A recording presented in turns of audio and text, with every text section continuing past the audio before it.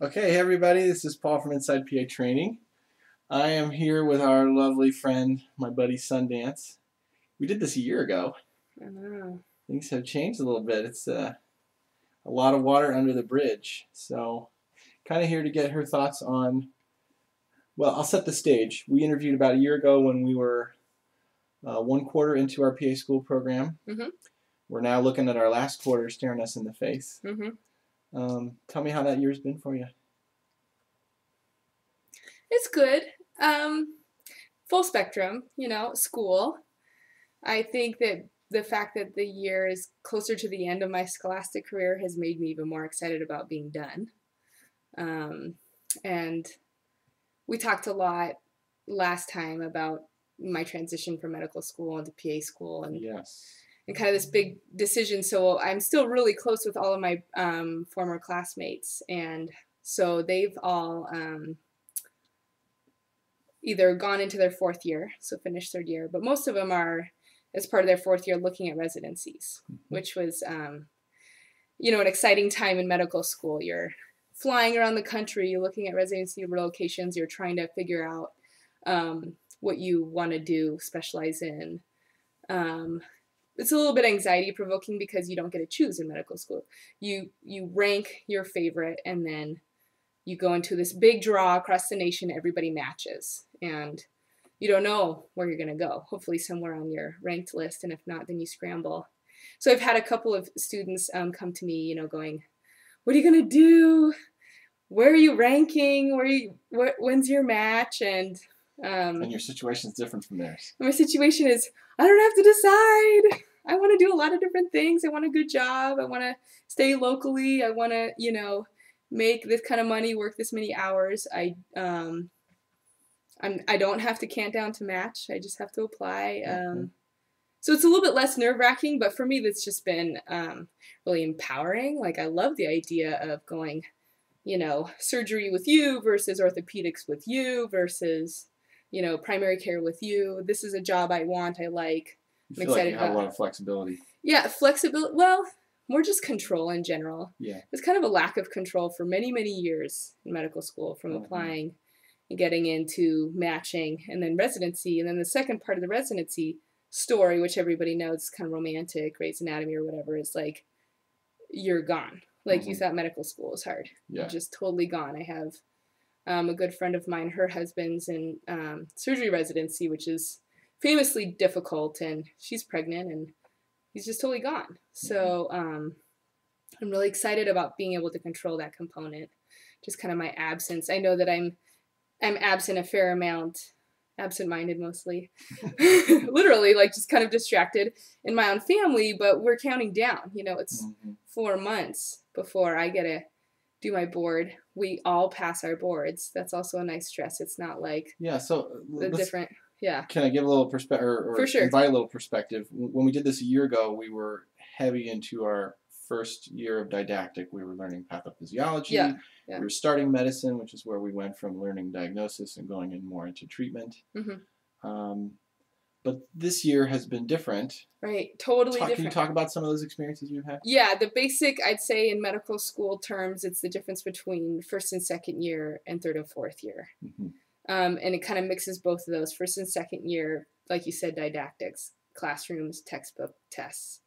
And then our program graduates us into clinical work. And we log patients and log what we're doing. And we're, we're required to learn about what we're doing. We're doing projects, reading at home, blah, blah, blah. But it's real patients, you know, stethoscope on patient's chest kind of learning. So can you talk about some of the clinical work you've done? So my prime, I have a couple primary sites. They're fabulous. So primary meaning primary care, the p- first place you go to when you're sick. Um, and one of them is an is an HIV clinic, CARES clinic in Sacramento, and it's just outstanding. Um, full of great great clinicians and a fascinating patient population, and doing really good, difficult, complicated medicine. So that's been uh, a real privilege. And then some other places And how just many, kind day, of how many days a week do you do that? that's three days a week. I try to work up to five days a week because inevitably I'm gonna have to take days off for testing exams. And then and then the other thing that's kind of special about second year, which is very third year esque, is these specialty rotations. So that's when we start rotating through surgery, inpatient medicine, psychiatry, pediatrics, geriatrics, et cetera, et cetera. And it's kind of different for every student because students live in different places, other boarding details. But the bottom line is you really are a medical student, meaning you're in the wards, you're taking on your patients, you're scrubbing in, um, you're doing the gnarly hours, you know, Which, you're doing call, which ones have you done? everything except for inpatient. Okay. Uh, the difference is they're way shorter. Mm -hmm. So two to three weeks in our program Mhm. of these kind of intense rotations where you kind of say goodbye and you go and you throw on scrubs and a dirty white coat and you just stay there. You learn a ton and you get pimped and it's awesome. It's high stress, lots of work.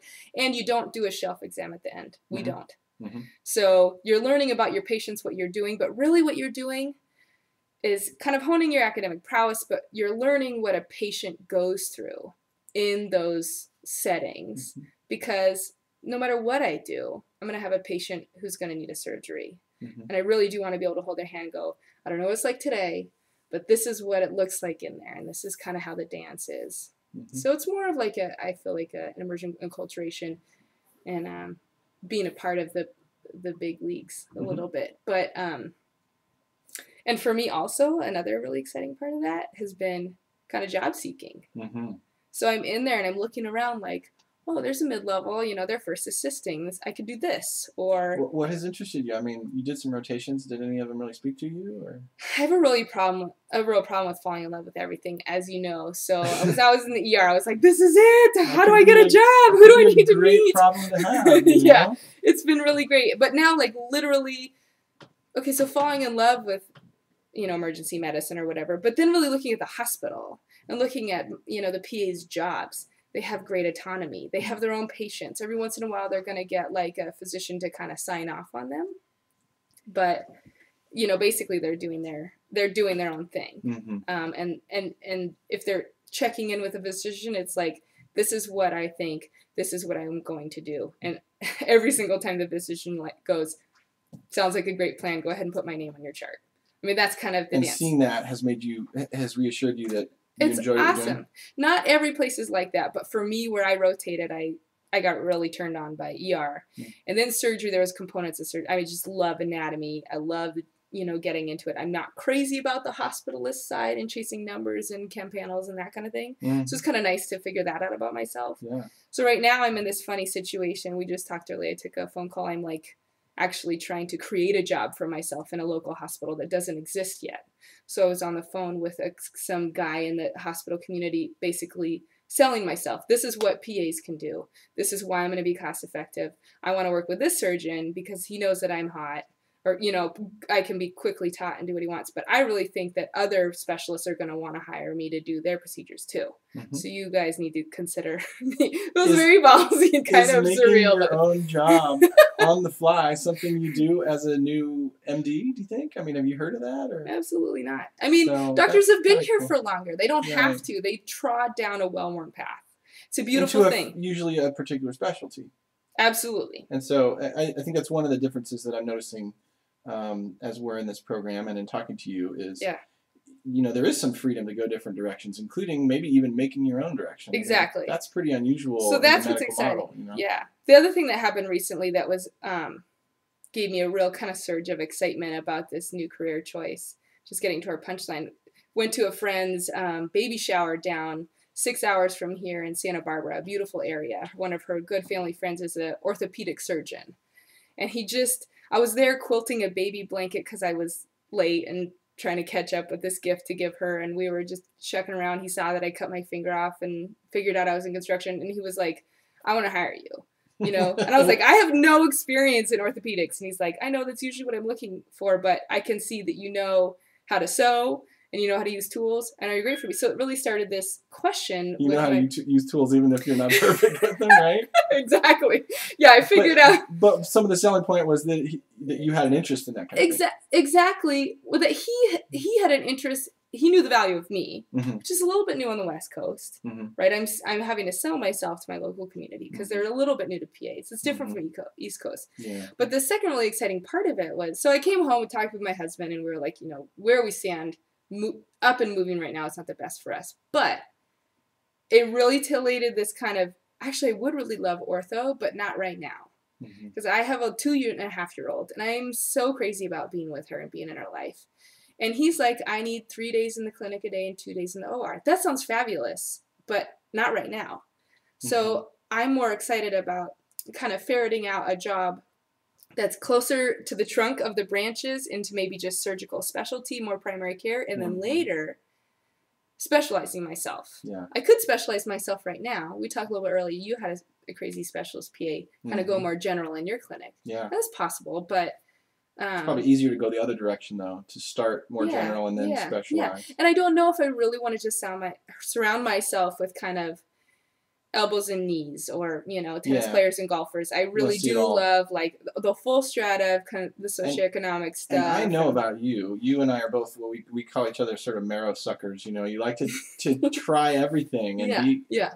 at least have a lot of different experiences. And it sounds like Totally. you're really getting there. totally and really kind of hone a skill that could be more applicable a broad spectrum i mean what i'm trying to do right now is really convince this surgeon that he has something special in an unexperienced pa because he really can make the physician extender out of me. He can handcraft me to do things the way he does them. And I, I, I met someone in our last, uh, you know, class that graduated before us in our program who said they had an awesome, amazing opening doing cardiothoracic surgery because they were able to go to the CT surgeon and say, right. I'm straight out of school.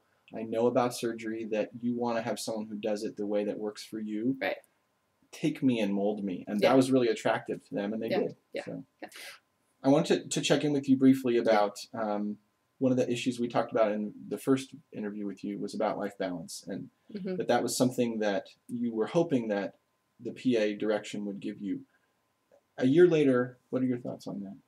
so a couple answers one i'm not good at it so i wouldn't it would be i would be it would be wrong for me to say that i had found it Uh-huh. The difference is that if I were better at it, it would at least be possible now. Uh-huh. So I I am more of the kind who oscillates between, you know, when it's like right now we're cramming for a cardiology final Yeah, coming exactly. Let me let me take a It's moment. not pretty. this is our table here with food, computers, books. Christina over there who wants to be off camera. Um, we, it's a big But mess of studying going on. So I mean, but now my family knows that for for a week before school, it's not balanced. I'm gone. Yeah. It's kind of like bye bye, mommy. I'll I'll see you when you get back. Uh-huh. And then there's this great time when I come home where it's kind of like minimal clinical work and I'm just I'm totally, you know, the crock pot's going and I'm working on my crafts, making baby clothes and all the things I really want to do. We have chickens now and the house is more moved in. So so it's more like of this if you took the mean it's more balanced, but I Yeah, den- yeah. generally but oscillate. your but- life isn't 100% consumed with right. your studies. But the biggest difference is when I look at my former classmates and I see them basically, the dance is no balance. I mean, you just, it's not for a lack of trying, it's a process of acceptance. Medical school is a fire that produces amazing, amazing medical providers. Mhm. And, but it can also break them yeah. and um and so it takes a special person to do that and um, i think you really really have to want it so bad more than anything else and you'll come out the other side feeling like it was a so i ha- i have preceptors who want me to go back to medical school because they really believe in the medical school model as being the best Mhm. I don't think they're wrong but they're not 33 with a two and a half year old Yeah, you sound pretty satisfied with the direction. Would you? Is that fair? It's absolutely fair, and I'm excited to say that because it actually it took a long time for me to get. I feel like it's almost in the past two months where I'm like, I, I was just talking with my good friend, whose her husband is the one in the surgical residency, and it was like, it was like I had to get off the Titanic early. Yeah. You know what I mean? Like I still kind of want to be on. It It was a fantastic, once in a lifetime thing, hmm but for me, it would have been a Titanic. Yeah. Um, we got about 10 more seconds um, with, with closing. Um, thank you so much for talking. And uh, hopefully, you know, after you've been a PA for a year or two, we can do this again. But I really appreciate it. Anytime, Polly. Thanks a lot.